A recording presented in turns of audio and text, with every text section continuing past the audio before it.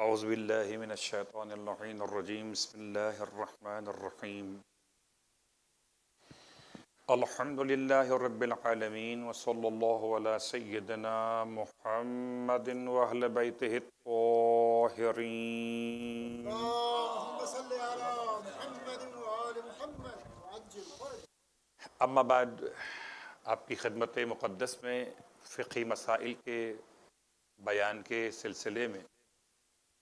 वैसे तो खमुस के मसाइल बयान किए जा रहे हैं, मगर हर रोज़ आपकी खदमत में कोई एक हदीस अपनी इसलाह के लिए और आपकी खदमत में सवाब हासिल करने के लिए पेश किया करता हूँ।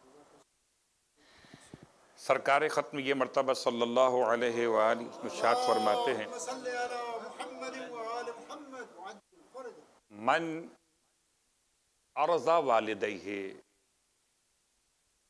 फ़कत अर्ज़ल्ला, या फ़कत अर्ज़ा खालिका हो कि जो शख्स भी अपने वालदेन को राज़ी कर लेता है तो बिल्कुल ऐसे ही हो जाता है जैसे उसने अपने अल्लाह को, अपने खालिक को राज़ी कर लिया। वमन असखत वालद फ़कत असखत अल्लाह। और जिसने अपने वालदेन को नाराज़ किया, ऐसे ही समझे कि जैसे उसने अल्लाह को नाराज़ कर दिया। हदीस का तर्जुमा आपकी खिदमत में। अलबत्ता हर हदीस के साथ सिर्फ़ तर्जुमा काफ़ी नहीं होता, बल्कि तशरीहत भी बयान की जाती है।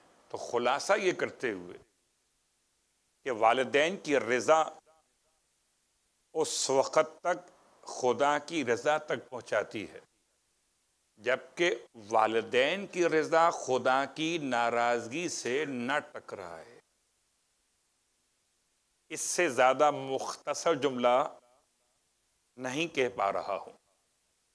कि आप अपने वालदेन को, मैं अपने वालदेन को राज़ी करूँ, उस हद तक हद क्या है? जब तक कि उनको राज़ी करना खुदा को नाराज़ करने का बायस ना बने। तो खुदा हम सबको हमारे वालदेन को राज़ी करने की तोफ़ी अता फ़रमाए। और जिनके वालदे हयात नहीं हैं, आज शब जुमा मुतसिल है। परवरदिगार उन तमाम तर महरूमीन वालदेन की मगफरत फरमाए। और बहरहाल औलाद माँ बाप का हक़ अदा नहीं कर सकती, जो अगर हक़ रह गया हो, मेरे और आपके ज़िम्मे जिनके वालदेन इंतकाल कर चुके हैं तो परवरदिगार, हमारी तरफ़ से हमारे वालदेन महरूमीन को इतना अजर सवाब अता फरमा कि तू उनको हमसे राज़ी हो, खुशनूद फरमा दे। सलवात पढ़ लें मोहम्मद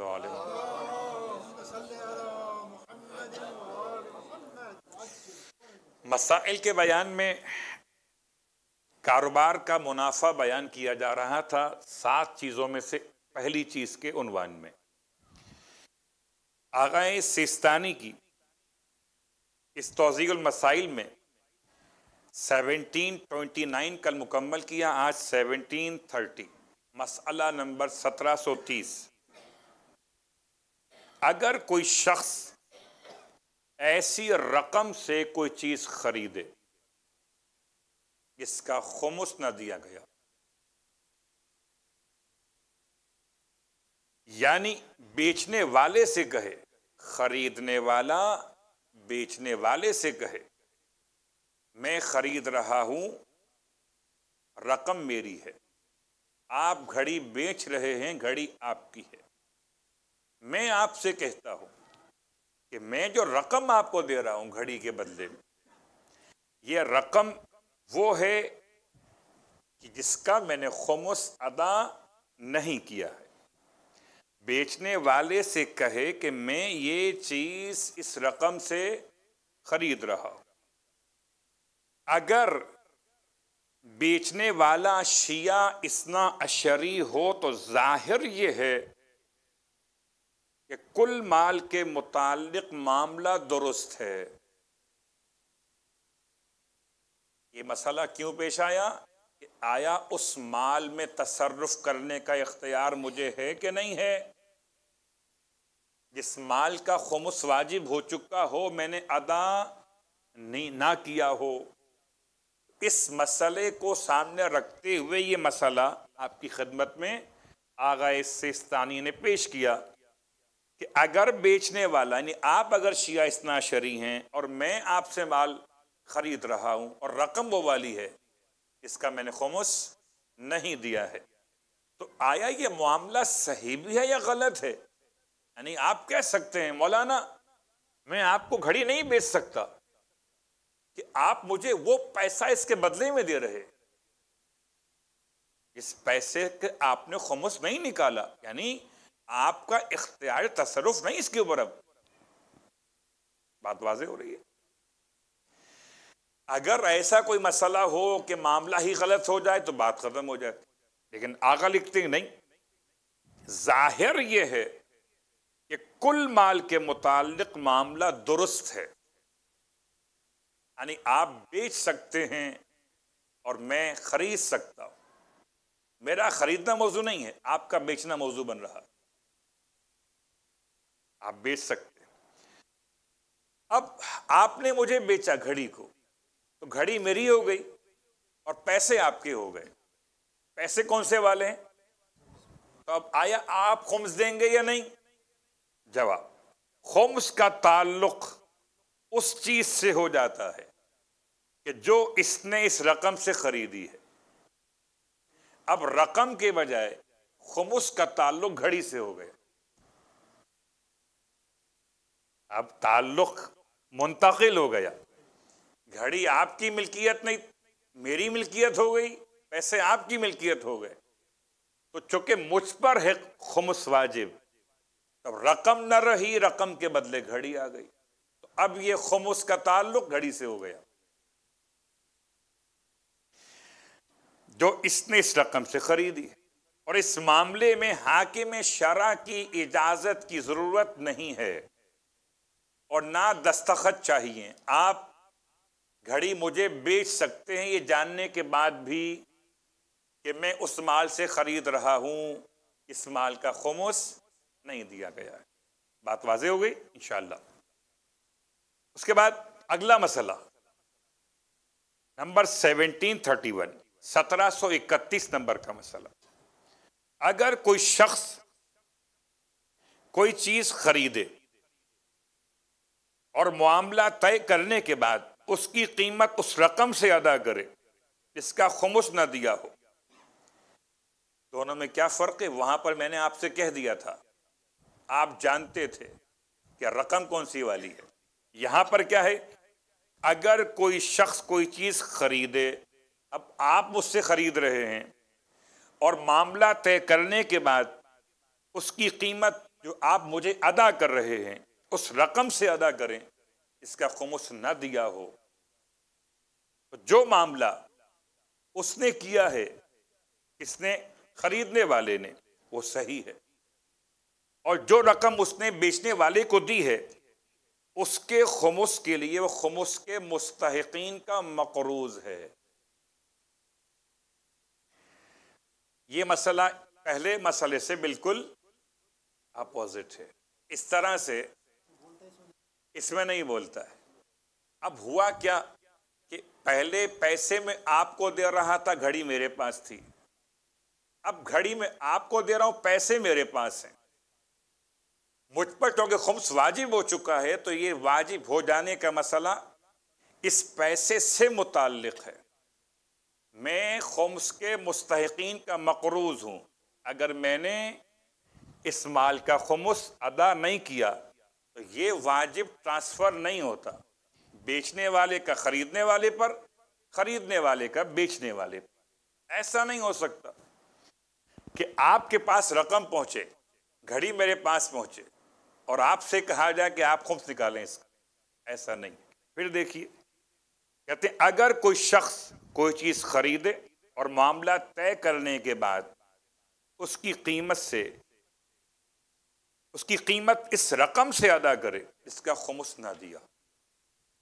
तो जो मामला उसने किया वो सही है और जो रकम उसने बेचने वाले को दी है, उसके खमुस के लिए, वो खमुस के मुस्तकिन का मकरूज है। अपने पास से अदा करे। वो रकम चली गई अब ये उनका मकरूज है जो मुस्तकिन खुम से अब आइए अगला मसला।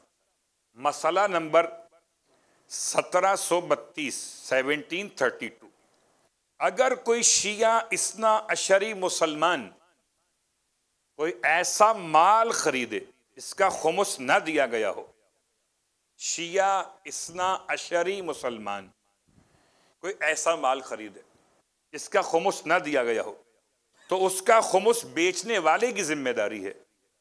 खरीदार के जिम्मे कुछ भी नहीं है।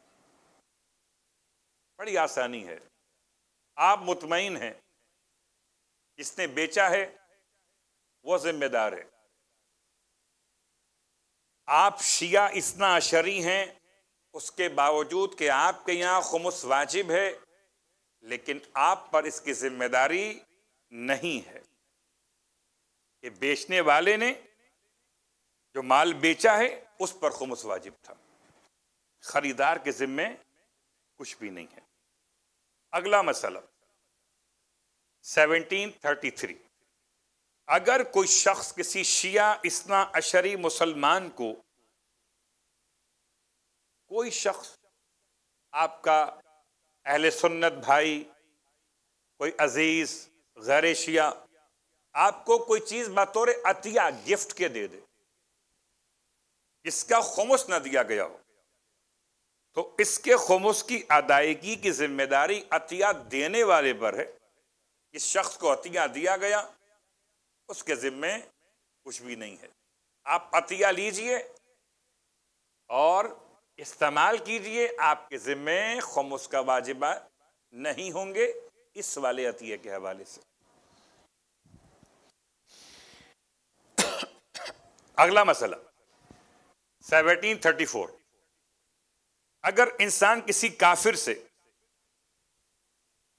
या ऐसे शख्स से जो खमुस देने पर एतकाद ना रखता हो या खमुस ना देता हो, कोई माल उससे मिले तो उस माल का खुमुस देना वाजिब नहीं है। ऐसे शख्स से मिले कि जो खुम्स देने पर एतकाद नहीं रखता या काफिर है, या खुम्स देता ही नहीं है, तीन चीज़ें होगी। काफिर खुम्स का अकीदा नहीं रखता, नंबर दो, नंबर तीन, खुम्स देता नहीं है। इन तीनों कैफियात में अगर कोई माल आपको उससे मिले तो उस माल का खुमुस देना वाजिब नहीं है। और अब आपके सवालों जवाब, इंशाल्लाह ताकि आसानियाँ पैदा हों हम सब के लिए।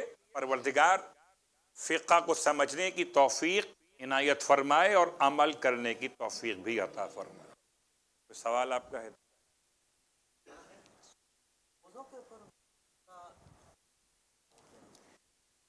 बिस्मिल्लाहिर्रहमानिर्रहीम। बरादान अहल सुन्नत के यहाँ मोज़ों पर मसा किए जाने की इजाज़त है। और सिर्फ़ मोज़े ही नहीं, बल्कि पाँव में अगर जूते भी पहने हुए तो उस पर भी मसा करने की इजाज़त है। बरादान अहल सुन्नत के अलावा, अहल बैत के फ़िका के मानने वालों के लिए, हालत तकैया के अलावा, मोजे पर मसा करने की इजाज़त नहीं है। जूते पर मसा करने की इजाज़त नहीं है। इस हद तक पाबंद। कि कोई अगर रुकावट स्किन पर ऐसी मौजूद हो कि जो पानी पहुँचने से, मसाह के तरी पहुँचने से माने हो तो पहले उसे दूर किया जाए। और सवाल?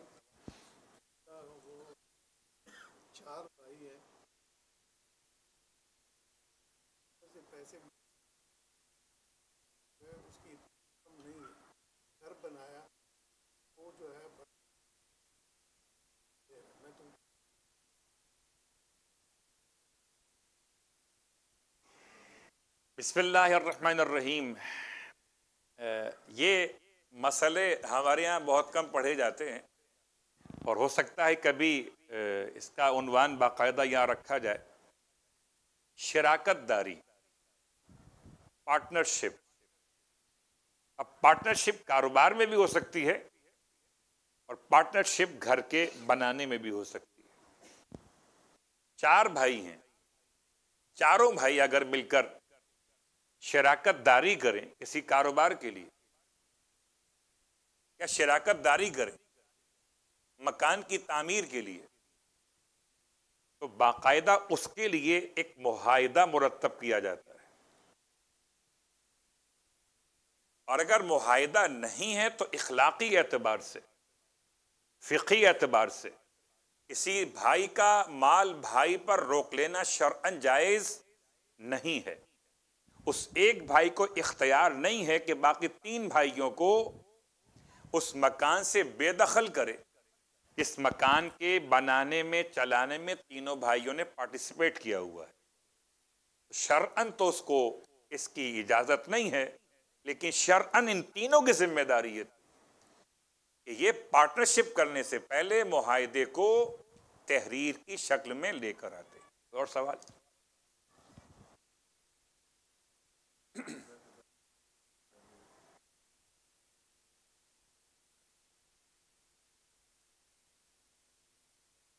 दुआ सवाल कीजिए।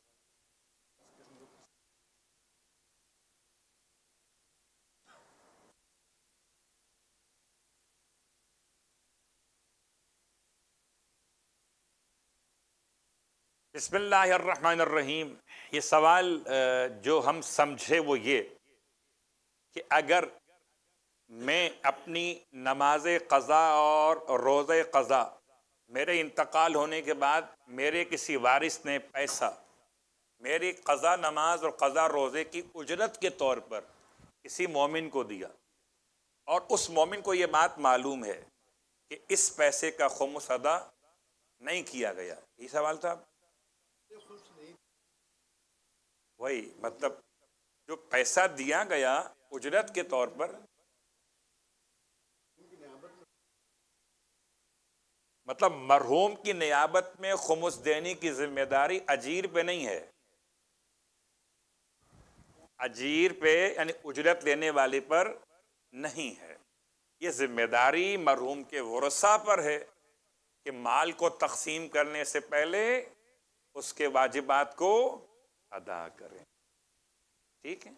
कोई और सवाल?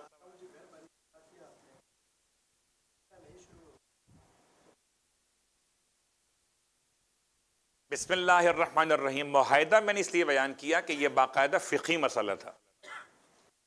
किताब तोज़ीमसाइल में शराकत दारी का एक उनवान मौजूद है। अगर माहिदा मुरतब नहीं है तो ठीक है अखलाक़ी कानूनी शर्य एतबार से। तो जिसने पैसा किसी का रोका भाई ने, बहन का या भाई ने, भाई का तो उसने गुनाह कबीरा को अंजाम दिया है और उसके लिए रोकना शरअन जायज़ नहीं, मकान का इस्तेमाल भी बग़ैर उन तीन अफराद को राज़ी किए हुए जायज़ नहीं होगा, उतने हिस्से के एतबार से जिनमें उनका हिस्सा शुमार किया जा सकता लेकिन अगर मुहिदा नहीं किया गया है तो खुदा की बारगाह में अगर ये बदुआ करना चाहें तीन भाई मिलकर तो कबूल नहीं होगी। और सवाल?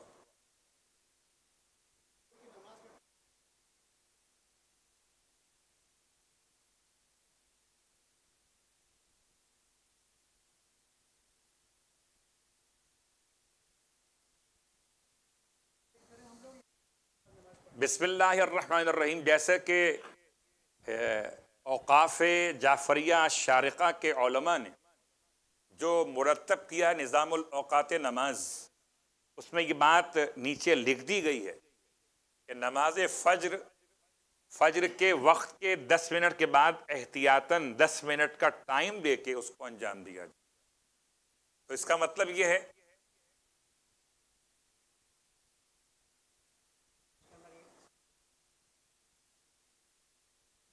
ये औकाफ के वहाँ माशाल्लाह होते हैं, ये इस बात को बयान करेंगे, लेकिन देखिए, बात हो सकता है कि आपके पास जो पहुँची हो, उसमें ना हो, मगर मेरे पास जो इन्होंने पहुंचाई, उसमें मौजूद है। और अगर एहतियात पर अमल करें तो ज़्यादा बेहतर है। क्या मतलब हो सकता है बाज महाराज उज़ाम के एतबार से अभी वक्त में गुंजाइश हो कि नमाज़ नहीं हो सकती हो।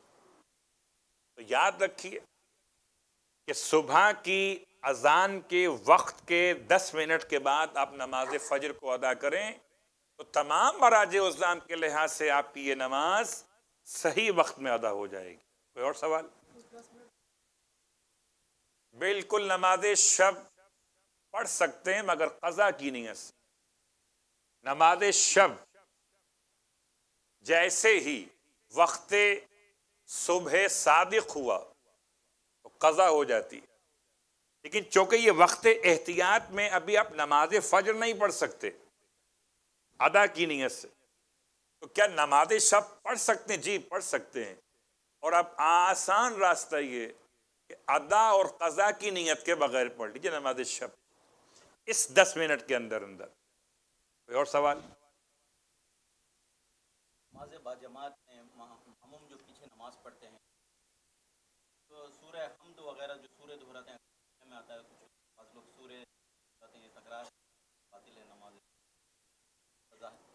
बिस्मिल्लाहिर्रहमानिर्रहीम। नमाज़ जमात का जो मसला है उसमें अगर आपने नमाज़ जमात में इक्तदा की नीयत की है कि आप जमात से नमाज़ पढ़ना चाहते हैं फिर इक्तदा की नीयत में आपकी ज़िम्मेदारी है कि हालत क़याम में, उन नमाज़ों में, कि जिन नमाज़ों में बआवाज़ बुलंद तिलावत की जाती है। यानी कि फ़जर, मगरिब और इशा में। और जुमे के दिन जुमे की नमाज़। तो जिनमें आवाज़ बुलंद तिलावत होती है, उनमें आप तिलावत सुनिए, आपको तिलावत नहीं करना है। अगर तिलावत आपने गलती से की तो नमाज़ बातिल नहीं है, ना जमात बातिल और अगर जानबूझ के की तो आपकी नमाज़ जमात नहीं होगी, फिर नमाज़ फुरादा की ज़िम्मेदारी आपको अदा करना होगी कि आपकी नमाज़ अब जमात के साथ नहीं रही। मगर जब तक आपको आवाज़ आती रहे तिलावत की, यानी कि वलो हम हमा ही क्यों ना हो थोड़ी थोड़ी आवाज़ या का नाबुदो, फिर गायब हो गई आवाज़, फिर आई एहदना, फिर गायब हो गई आवाज़। इतना भी अगर आवाज़ आ रही है तो आपने तिलावत को सुनना है। और अगर बिल्कुल आवाज़ नहीं आ रही तो फिर आपने तिलावत करना है। फिर तिलावत करना है, जमात की नीयत के साथ। जहर असर का मसला इससे मुख्तलिफ़। उसमें हालत क़याम में खामोश रहने से अफजल ज़िक्र खुदा करना। ज़िक्र खुदा मतलब तिलावत नहीं है। सुबहान अल्लाह सुबहान अल्लाह सुबहान अल्लाह। अल्लाह अकबर अल्लाह अकबर अल्लाह अकबर, कोई अल्लाह का नाम लेकर अपने हालत क़याम में अपने आप को इंतशार ख्याल से बचाइए और जमात का सवाब भी हासिल कीजिए सलवात पढ़ते हुए।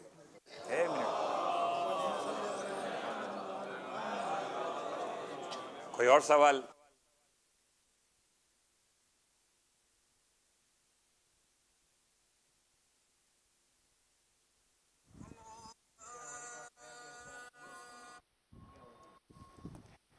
अगर ये मसला मालूम नहीं था और नमाज़ पढ़ ली और नमाज़ के कज़ा होने के बाद मालूम हुआ तो नमाज़ दुरुस्त है। सलवात पढ़ लें मोहम्मद। वाले मोहम्मद।